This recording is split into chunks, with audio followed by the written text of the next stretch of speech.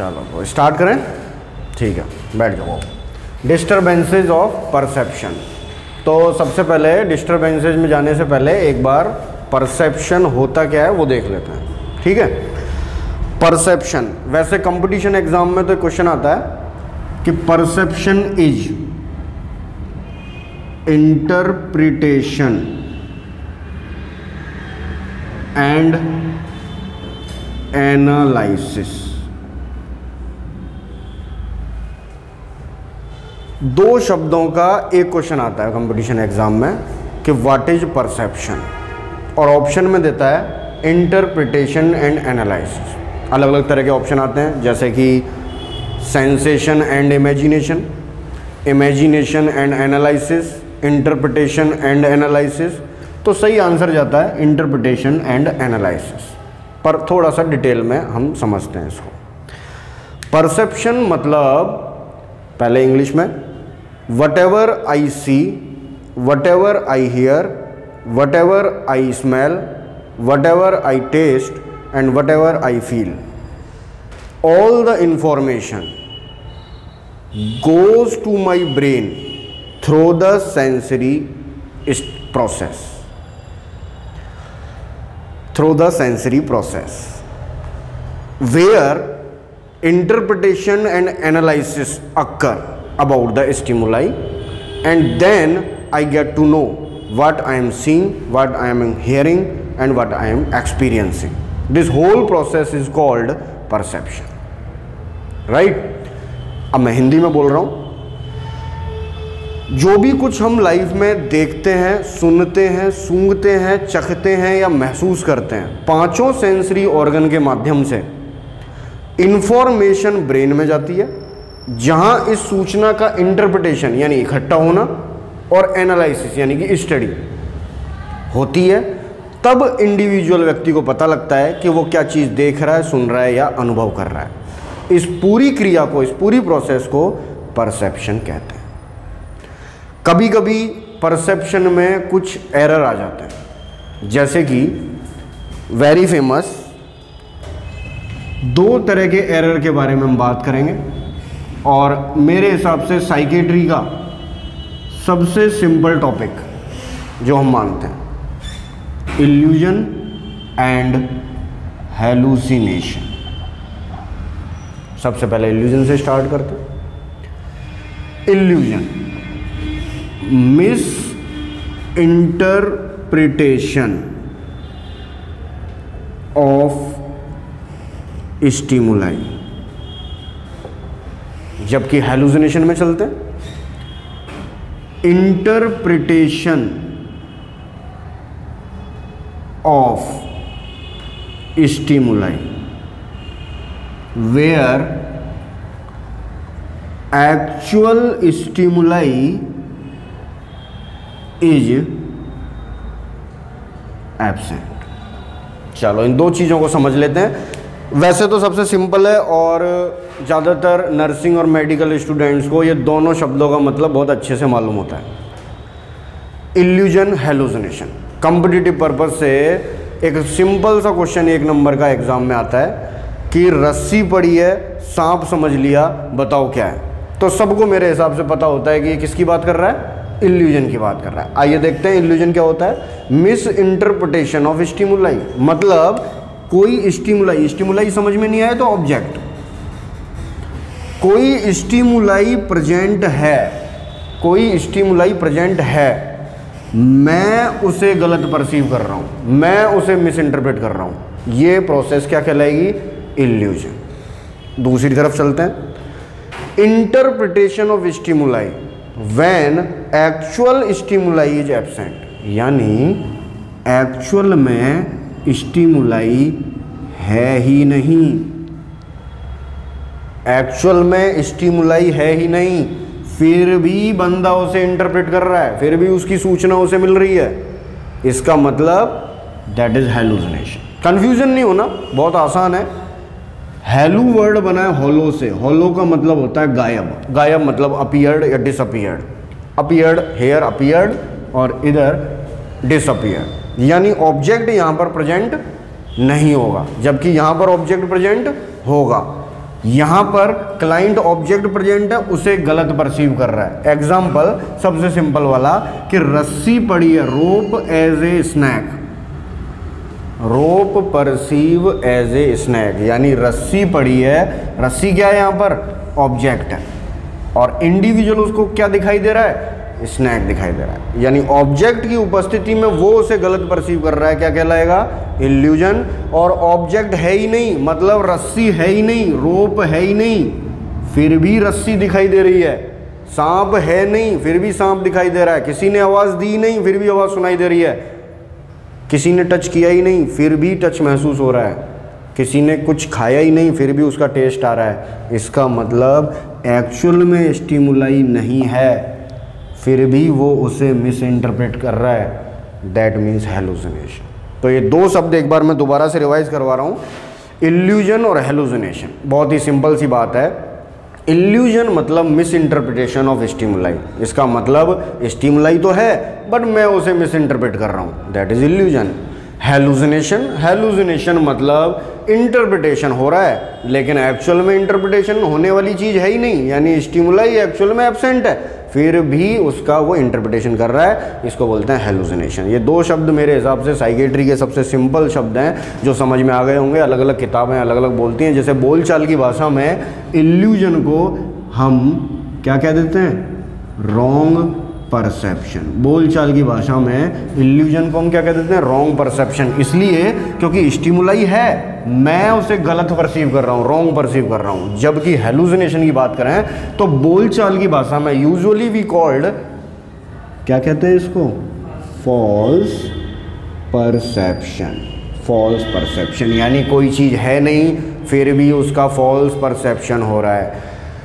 तो दो शब्द हमने डिस्कस किए इल्यूजन हेलुजिनेशन थोड़ा सा और अंदर चलते हैं कॉम्पिटिटिव पर्पज से बात करते हैं कि हेलुजिनेशन कितने तरह का होता है और इल्यूजन कितने तरह का होता है। आइए देखते हैं।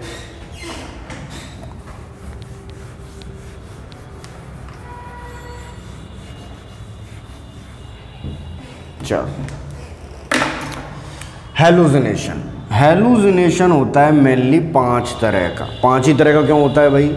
क्योंकि पाँच ही तरह के हमारी बॉडी में क्या पाए जाते हैं? सेंसेस हम एक्स्ट्रा सेंसरी परसेप्शन की बात ही नहीं कर रहे एक्स्ट्रा सेंसरी परसेप्शन भी होता है। जैसे कि पूर्वाभास। फ़िल्मों में दिखाते हैं कि आज तो कुछ बुरा होने वाला है। कि घटना घटित होने से पहले ही उसका आभास हो जाए। That is extra sensory perception precognition इसको बोलते हैं। क्लैरीवोयंस एक टर्म होता है साइकेट्री में क्लैरीवोयंस पैरासाइकोलॉजी का टॉपिक है। क्लैरीवोयंस मतलब प्रेजेंट पास्ट और फ्यूचर की पहले से एक देखने की क्षमता। वो एक्स्ट्रा सेंसरी की बात हो गई कम टू द टॉपिक हम सेंसरी की बात कर रहे हैं कि पाँच ही तरह का एल्यूजनेशन क्यों होता है या पाँच ही तरह का एल्यूजन क्यों होता है, क्योंकि हमारी बॉडी में पाँच ही तरह के सेंसरी ऑर्गन पाए जाते हैं। तो सबसे पहले ईयर से रिलेटेड समझ लेते हैं कि सुनाई देने वाला जो हेलुजिनेशन होगा, उसको क्या बोलेंगे? ऑडिटरी हेलुजिनेशन दूसरा दिखाई देने वाला, उसको क्या बोलेंगे? विजुअल हेलुजिनेशन तीसरा olfactory olfactory hallucination चौथा है गैस्टेटरी हेलुजिनेशन और last and final tactile hallucination वापस चलते हैं पॉइंट पे. पाँच सेंसरी ऑर्गन तो पाँच ही तरह के हेलुजिनेशन मेरे हिसाब से आप सभी को ये बात समझ में आ गई होगी। ऑडिटरी ऑडिटरी हेलुजिनेशन में हेलुजिनेशन की बात कर लेते हैं। हेलुजिनेशन मतलब स्टिमुलाई इज़ एबसेंट बट फिर भी उसे क्या सुनाई दे रही हैं? आवाज़ें। यानी इसको मैं बोल सकता हूँ हेलुजिनेशन ऑफ़ हियरिंग तो ऑडिटरी भाई हियरिंग से ही रिलेटेड क्यों है? ये आप सभी को पता होगा कि हम एनाटॉमी में या फिजियोलॉजी में पढ़ते हैं कि ऑडिटरी एक कैनाल पाई जाती है, जो कि कहाँ पाई जाती है? ईयर के अंदर। तो हमें हिंट बन गई कि ऑडिटरी हेलुसिनेशन में तरह तरह की आवाज़ों का सुनाई देना। और थोड़ा डीप चलेंगे, लेकिन पहले जनरल पाँचों का मीनिंग समझ लेते हैं। दूसरा है विजुअल हेलुसिनेशन विजुअल हेलुसिनेशन मतलब हेलुसिनेशन ऑफ़ विजन मरीज़ को तरह तरह की चीज़ें इसमें दिखाई देने लग जाती हैं। तीसरा ऑल फैक्ट्री ऑल फैक्ट्री किससे रिलेटेड है? ऑल फैक्ट्री रिलेटेड है स्मेल से. स्मेल से रिलेटेड है, जैसा कि हम सभी जानते हैं तो हेलुजिनेशन ऑफ़ स्मेल अच्छा स्मेल से रिलेटेड क्यों है? हम सभी जानते हैं कि नेज़ल कैविटी के अंदर इथमोइड बोन पाई जाती है और इथमोइड बोन में छोटे छोटे छिद्र होते हैं जहाँ से ये नर्व रिसेप्टर्स निकले रहते हैं। ये नर्व रिसेप्टर्स पोस्टीरियर सरफेस पर जाकर एक बड़ी नर्व का निर्माण करते हैं, जो कि क्या कहलाती है? ऑल फैक्ट्री नर्व जो कि स्मेल से हमें परसेप्शन करवाती है। ये ऑल फैक्ट्री नर्व ब्रेन में जा रही है। ब्रेन में कहाँ जा रही है? ब्रेन में जा रही है ऑल फैक्ट्री एरिया में तो जा रही है यू आर राइट बट कौन सी लोब में जा रही है? मेरे कहने का मतलब टेम्पोरल लोब में जा रही है फ्रंटल में जा रही है पैराइटल में जा रही है ऑक्सीपिटल में जा रही है? स्टार्ट एक बार दोबारा से। ऑल फैक्ट्री नर्व जो सुनाई स्मेल स्मेल का काम करती है, उसका एरिया जैसा कि हमें मालूम है कि सुनाई देने वाला एरिया कहाँ होता है? सुनाई देने वाला टेम्पोरल में। और आज से हमने एक और नई चीज़ सीख ली कि सुनाई देने वाला एरिया यानी हियरिंग एरिया और सूंघने वाला एरिया, यानी सुनने वाला एरिया और सूंघने वाला एरिया, दोनों ही एरिया ब्रेन में कहाँ पाए जाते हैं? डीप टेम्पोरल लोब में। वापस आ जाओ अपने टॉपिक पे कि आज पता लग गया कि हॉल फैक्ट्री एक नर्व होती है जो कि स्मेल का काम करती है, इसलिए इसको बोलते हैं हेलोसिनेशन ऑफ़ स्मेल आगे चलते हैं गैस्टेट्री गस्टा। मैं गैस्टेशन नहीं बोल रहा हूँ, वो ओबीजी से रिलेटेड है जेस्टेशन वो ड्यूरेशन है। हम बात कर रहे हैं गस्टा। गस्टा वर्ड यूज़ करते हैं हम किसके लिए? टेस्ट बर्ड्स के लिए। तो एक हिंट हमें मिल गई कि टेस्ट बर्ड्स मतलब किससे रिलेटेड है? टंग से, यानी कि हेलुजिनेशन ऑफ़ टेस्ट तो गस्टेटरी हेलुजिनेशन हो गए हेलुजिनेशन ऑफ़ टेस्ट आगे चलते हैं। Last and final tactile T से टच याद कर लें। टी फॉर टच यानी हेलुजिनेशन ऑफ़ टच यानी तरह तरह की चीज़ें फील होना हेलुजिनेशन ऑफ़ टच कहलाता है। एक बार समराइज़ कर लेते हैं फटाफट से। ऑडिटरी हेलुजिनेशन में तरह तरह की आवाज़ें सुनाई देती हैं, इसलिए इसको कहते हैं hallucination of hearing visual hallucination में तरह तरह की चीज़ें दिखाई देती हैं, इसको कहते हैं hallucination of vision olfactory hallucination को कहते हैं हेलुजिनेशन ऑफ़ स्मेल तरह तरह के स्वाद आना टेस्ट आना जबकि स्टिमुलाइज स्टिमुलाइज एबसेंट यानी कि हेलुजिनेशन यानी मरीज़ ने रसगुल्ला नहीं खाया बट उसे फिर भी मीठा आ रहा है। मरीज़ को उल्टियाँ नहीं आ रही, फिर भी उसको बिटर टेस्ट आ रहा है। यानी स्टिमुलाई तो नहीं है, पर फिर भी उसे चीज़ों की अनुभूति हो रही है। क्या कहलाएगा? गस्टेटरी हेलुजिनेशन और अगर रसगुल्ला खाया है, और कड़वा टेस्ट आ रहा है तो वो हेलुजिनेशन है कि इल्यूजन है? इल्यूजन क्योंकि रसगुल्ला मीठा है, जबकि उसे टेस्ट उल्टा आ रहा है, यानी स्टिमुलाई प्रेजेंट है, वो उसे गलत परसीव कर रहा है तो इसकी बात हम बाद में करेंगे, पहले हेलुजिनेशन में चलते हैं। ऑल फैक्ट्री के बाद गैस्ट्रिटी और लास्ट टेक्टाइल हेलुजिनेशन यानी टी फॉर टच यानी टच से रिलेटेड होने वाले हेलुजिनेशन थोड़ा सा और समराइज करते हैं। ऑडिटरी बहुत कम बच्चे जानते हैं कि ऑडिटरी हेलुजिनेशन का दूसरा नाम पैराक्यूसिया है। पैराक्यूसिया एक फॉर्म होती है जो हियरिंग से रिलेटेड है, इसलिए इसका दूसरा नाम है पैराक्यूसिया ऑडिटरी हेलुसिनेशन को। इसमें, चलो एक क्वेश्चन पूछता हूँ मैं आप लोगों से। पाँचों में से मोस्ट कॉमन टाइप का जो हेलुसिनेशन होता है, मरीज़ को, हम बात डिसऑर्डर्स की कर रहे हैं सिर्फ़। डिसऑर्डर्स ही कर रहे हैं मतलब? क्या हमें भी हेलुसिनेशन हो जाते हैं? क्या नॉर्मल क्लाइंट को भी हेलुसिनेशन हो जाते हैं? बिल्कुल हो जाते हैं। उनकी बात करेंगे थोड़ी देर के बाद। पहले बात करते हैं कि मरीज़ को सबसे कॉमनली सुनाई, दिखाई और महसूस होने वाले अन्य हेलुजिनेशन में से सबसे ज़्यादा कॉमन जो हेलुजिनेशन होते हैं, वो कौन से होते हैं? ऑडिटरी यानी क्वेश्चन अगर एग्ज़ाम में आ जाए दो तरीके से कि most common type of hallucination ऐसे भी आ सकता है और डायरेक्ट भी पूछ सकता है most common type of hallucination in schizophrenia तो दोनों का ही आंसर क्या जाएगा? ऑडिटरी यहाँ तक बात क्लियर है? आगे चलो। जनरली सीजोफ्रेनिया का मरीज़, देखो क्या कंप्लेन करता है। जनरली सीजोफ्रेनिया का मरीज़ विसलिंग साउंड और हिसिंग साउंड विसलिंग साउंड और हिसिंग साउंड यानी सीटी की आवाज़ें या सांप की फुकारों की आवाज़ें मरीज़ ज़्यादातर कंप्लेन करता है। यानी वो बोलेगा कि डॉक्टर साहब, मुझे मुझे सीटी की आवाज़ आती है, मुझे सांप की फुकारों की आवाज़ आती है। इसका मतलब उसे हेलुजनेशन हो रहा है। कई तरह के क्वेश्चन एग्ज़ाम में आते हैं। मैं आपको एक बहुत अच्छा क्वेश्चन बताता हूँ, या थोड़ा सा और डीप चलते हैं इसमें। क्योंकि बेसिक बेसिक चीज़ें तो आपको पहले से पता है, जो आप लोग जो देख रहे हैं इस वीडियो को, उन सबको पता है कि ऑल फैक्ट्री का मतलब क्या होता है वगैरह। मैं एक ही को थोड़ा सा डिटेल में बता देता हूँ, बाकी अपन देखते हैं। तो ऑडिटरी के बारे में बात कर रहे थे कि तरह तरह की आवाज़ें विस्लिंग साउंड हिसिंग साउंड वगैरह वगैरह आती है। क्वेश्चन एग्ज़ाम में इस तरीके से भी आने लग गए आजकल। ध्यान दें थोड़ा सा running commentary running commentary hallucination running commentary hallucination is a form of कि किस तरह के हेलुजिनेशन की फॉर्म है? रनिंग कमेंट्री हेलुजिनेशन तो आपने जनरली मेंटल इलनेस में क्लाइंट को बड़बड़ाते हुए देखा होगा स्पीड से बोलते हुए देखा होगा, जबकि उसके पास तो कोई नहीं है। हमें लग रहा है शायद ये बीमार है या मानसिक रूप से बीमार है, इसलिए बड़बड़ा रहा है, ऐसा हम मान लेते हैं। बट एक्चुअल में ऐसा नहीं है। एक्चुअल में क्या है?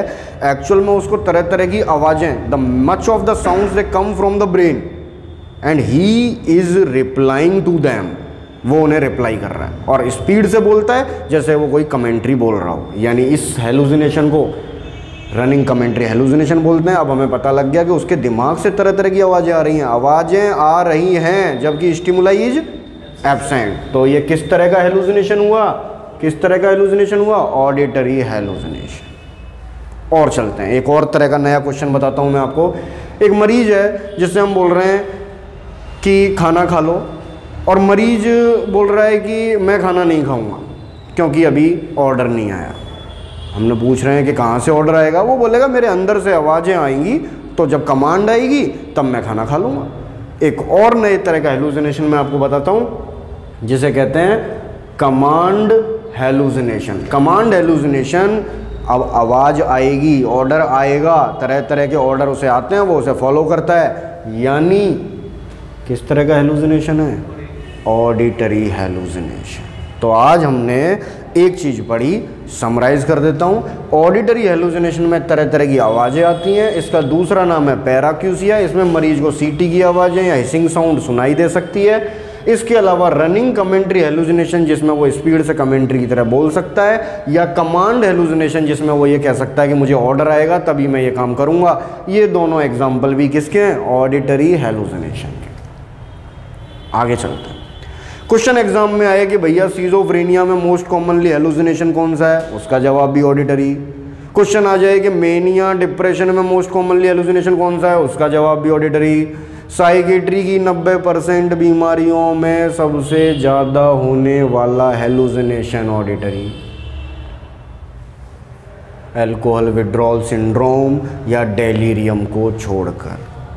तो आइए बात करते हैं अगले हेलुसिनेशन की जो कि विजुअल है नाम से ही दिख रहा है कि इसमें तरह तरह की चीज़ें दिखाई देती हैं। जैसे सीजोफ्रेनिया का एग्जांपल देता हूँ। मरीज़ आप बोलता है आ, सिस्टर मुझे बचा लो वो मुझे मारने आ रहा है वो देखो यमराज आ रहे हैं जो मुझे आ, ले जाएँगे तलवार है उनके हाथ में। मतलब उसे चीज़ें दिखाई दे रही हैं। हेलुसिनेशन हो रहे हैं इल्यूजन नहीं है। क्यों नहीं है इल्यूजन क्योंकि इल्यूजन में स्टिमुलाई प्रेजेंट होता है और हेलुजिनेशन में एबसेंट वापस आ जाओ विजुअल हेलुजिनेशन में उसे तरह तरह की चीज़ें दिखाई दे सकती हैं। अब मैं एक एग्जांपल दे रहा हूँ। यहाँ हमने याद कर लिया कि मोस्ट कॉमनली सीजोफ्रेनिया में कौन सा पाया जाता है?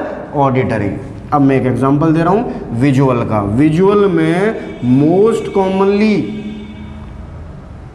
डेलीरियम डेलीरियम वाले मरीजों में डेलीरियम वाले मरीजों में मोस्ट कॉमनली जो हेलुसिनेशन होते हैं कौन से होते हैं? विजुअल एक और एग्जांपल देता हूँ। डेलीरियम के अलावा एक और एग्जांपल देता हूँ। और यहीं पर मैं आपका टॉपिक आज का ख़त्म कर दूँगा। ठीक है? विजुअल हेलुसिनेशन का एग्जांपल है कि डेलीरियम वाले मरीजों में हेलुसिनेशंस विजुअल वाले दिखाई देते हैं। और दूसरा एग्जांपल मैंने बोला एल्कोहल विड्रॉल तो इसको रटने की ज़रूरत नहीं पड़ेगी। कंपटीशन एग्ज़ाम में क्वेश्चन आता है देखो कैसे। डेलीरियम की बात करते हैं। डेलीरियम। डेलीरियम के लिए एक बड़ा ही फ़ेमस क्वेश्चन आता है नर्सिंग कम्पिटिटिव एग्ज़ाम्स क्या आता है? The disorder in which cloudy of consciousness present बड़ा ही फ़ेमस टर्म है, आप सबने सुना होगा cloudy of consciousness cloudy of consciousness दोबारा बता रहा हूँ क्लाउड क्लाउड यानी बादल, धुंधलाहट। और कॉन्सियसनेस यानी चेतन अवस्था। यानी चेतन अवस्था की धुंधलाहट, यानी अर्ध चेतन अवस्था, या इंग्लिश में बोलूँ तो सेमी कॉन्सियसनेस तो डेलीरियम में एक बड़ा ही अच्छा फीचर हम सबको पता होता है एग्ज़ाम में भी क्वेश्चन आता है कि क्लाउडी ऑफ़ कॉन्सियसनेस किस बीमारी में देखने को मिलती है तो उसको हम क्या बोलते हैं? डेलीरियम। अब एक बात आप खुद बताओ कि आपकी कॉन्सियसनेस चेंज हो रही है। मतलब मैं बेहोश होने वाला हूँ, बेहोश होने वाला हूँ, बेहोश होने वाला हूँ। तो मुझे आवाज़ें आने का ज़्यादा रिस्क है या दिखाई देने का ज़्यादा रिस्क है? खुद सोचें, अगर मेरी कॉन्सियसनेस चेंज हो रही है तो मेरा विजुअल इम्पेयरमेंट गड़बड़ हो रहा है तो मुझे किस तरह के एलुजिनेशन का रिस्क ज़्यादा है? विजुअल एलुजिनेशन का। यानी एक बात आज समझ में आ गई कि डेलीरियम के अंदर मोस्ट कॉमन टाइप के जो एलुजिनेशन होते हैं, वो कौन से होते हैं? विजुअल ना कि ना कि ऑडिटरी दूसरे पे चलते हैं। एल्कोहल विड्रॉल पहले तो इसका मतलब समझ लो। एल्कोहल विड्रॉल एल्कोहल तो आप सभी जानते ही हैं, शराब, जो डेवलपिंग कंट्री में एक सबसे सस्ता और इजीली अवेलेबल नशा माना जाता है। आगे चलते हैं। विड्रॉल विड्रॉल का मतलब होता है, जब हम किसी ड्रग को छोड़ते हैं वैन वी ससेशन और stopping any drug then many of reaction produce over the body that is called withdrawal reaction अब एग्ज़ाम में क्वेश्चन क्या आता है कि एल्कोहल विड्रॉल रिएक्शन या एल्कोहल विड्रॉल सिंड्रोम में मोस्ट कॉमनली कौन से तरह का हेलुजिनेशन दिखाई देता है? बड़ा ही कंफ्यूजिंग क्वेश्चन है, क्योंकि कुछ तो बोलते हैं ऑडिटरी दिखाई देता है, कुछ बोलते हैं विजुअल मैं आपको बिल्कुल क्लियर कट बताऊँगा अगले दो मिनट के अंदर. ध्यान से समझना. एल्कोहल विड्रॉल रिएक्शन पर एक क्वेश्चन आता है। पहले तो ये बताते हैं हम कि ये समझ में आया कि एल्कोहल विड्रॉल रिएक्शन क्या होता है? दोबारा एक बार समझा रहा हूँ। एल्कोहल छोड़ने की वजह से एल्कोहल छोड़ने की वजह से 24 से 48 घंटे के अंदर 24 से 48 घंटे के अंदर, मान लो, मैंने 15-20 साल हो गए शराब पीते हुए। कॉलेज लाइफ से स्टार्ट की थी और अभी तक daily daily daily daily daily daily पीते जा रहा हूँ। अब डॉक्टर को दिखाया 15-20 साल में कुछ सिम्टम आए। कुछ सिम्टम आए जैसे कि हेमरॉइड्स स्टूल के साथ ब्लड आना anaemia haemolysis pancreatitis liver cirrhosis fatty liver वगैरह वगैरह। अब जी ई आर डी गैसो गैस्ट्रोइसोफिजियल रिफ्लेक्स डिज़ीज़ इस तरह के सिम्टम आने लगे। मैं डॉक्टर के पास गया, डॉक्टर ने बोला, सर, आपका तो फैटी लिवर हो गया है, शराब पीना बंद करना पड़ेगा। तो अब आज मैंने तो पंद्रह साल से शराब पी थी। आज अचानक छोड़नी पड़ेगी। जैसे ही मेरे ब्लड में अल्कोहल का लेवल डाउन होगा 24 से 48 घंटे के अंदर कुछ रिएक्शन मेरी बॉडी पर आ जाएँगी। उन रिएक्शन को ही क्या कहते हैं? एल्कोहल विड्रॉल सिंड्रोम या एल्कोहल विड्रॉल रिएक्शन आगे चलते हैं। तो मेरा क्वेश्चन ये है, जो कंपटीशन एग्ज़ाम में आता है कि most common type of, most common type of alcohol withdrawal reaction is तो मैं अभी डायरेक्ट बता रहा हूँ, अगले वीडियो में आपको इसका आंसर दे दूँगा। एल्कोहल विड्रॉल यानी शराब छोड़ने की वजह से 24 से 48 घंटे में सबसे ज़्यादा कॉमनली जो सिम्टम दिखाई देता है, उसका नाम क्या होता है? डेलीरियम ट्रीमेंस हो सकता है आपने सुना हो या नहीं भी सुना हो, मैं एक बार दोबारा बता रहा हूँ, शराब छोड़ने की वजह से 24 से 48 घंटे में सबसे ज़्यादा कॉमनली जो सिम्टम आता है, वो होता है, उसका नाम क्या है? डेलीरियम ट्रीमेंस डेलीरियम ट्रीमेंस तोड़ देते हैं इसको। तोड़ दिया डेलीरियम डेलीरियम मतलब क्लाउडी ऑफ़ कॉन्सियसनेस और ट्रीमेंस ट्रीमेंस एक लेटिन वर्ड है ट्रीमेंस मतलब ट्रीमर्स यानी शराब छोड़ेंगे तो दो दिन के अंदर सबसे ज़्यादा सबसे ज़्यादा मतलब 34 परसेंट मरीजों में 34 परसेंट मरीजों में एल्कोहल विड्रॉल के 34 परसेंट मरीजों में ये सिम्टम दिखाई देता है। समझ लेते हैं। डेलीरियम मतलब क्लाउडी ऑफ़ कॉन्सियसनेस और ट्रीमेंस मतलब हाथ पैरों का कप कपाना इसके अलावा इसमें anxiety flushing sweating tachycardia hypertension जैसे और भी लक्षण होते हैं, पर उनकी बात हम बाद में करेंगे। अब वापस आ जाओ हेलुसिनेशन से काफ़ी दूर चले गए तो अब एकदम से रिवर्स कर देते हैं। ध्यान से समझना last and final most common alcohol withdrawal reaction जो शराब छोड़ने की वजह से 24 से 48 घंटे में आती है क्या कहलाती है? डेलीरियम ट्रीमेंट डेलीरियम का मतलब क्लाउडी ऑफ़ कॉन्सियसनेस और ट्रीमेंस का मतलब ट्रीमर्स क्लाउडी ऑफ़ कॉन्सियसनेस चेतन अवस्था. कौन से एलुसिनेशन होंगे? तो ये रटने की ज़रूरत ही नहीं है कि ऑडिटरी होगा कि नहीं होगा, क्योंकि विजुअल एलुसिनेशन डेलीरियम में, जैसा कि अभी हमने पढ़ा मोस्ट कॉमनली दिखाई देता है। काफ़ी लंबा वीडियो बन जाएगा। इसलिए मैं मेरे इस टॉपिक को यहीं ख़त्म कर रहा हूँ। ऑल फैक्ट्री गैस्टेटरी और टेक्टाइल की बात हम करेंगे डिटेल में नेक्स्ट वीडियो में। या अगर आप ऑफलाइन क्लासेस लेना चाहते हैं तो हमारा एक कोचिंग इंस्टीट्यूशन है अकॉन स्टाफ नर्स कोचिंग उसको आप ज्वाइन कर सकते हैं। और मैं नीचे टैगलाइन में आपको नोटिस दे दूँगा लिंक दे दूँगा, जिससे आप डायरेक्टली एड्रेस या फ़ोन नंबर भी ले सकते हैं। अगर आपको ये वीडियो पसंद आया हो तो share it like it and subscribe and comment अगर आप मेरे वीडियो को अप्रिशिएट करेंगे तो मुझे और भी मोटिवेशन मिलेगा कि मैं आगे नर्सिंग स्टूडेंट डेंटिस्ट या मेडिकल स्टूडेंट्स को भी आगे और वीडियो बनाकर दे सकता हूँ। Thank you very much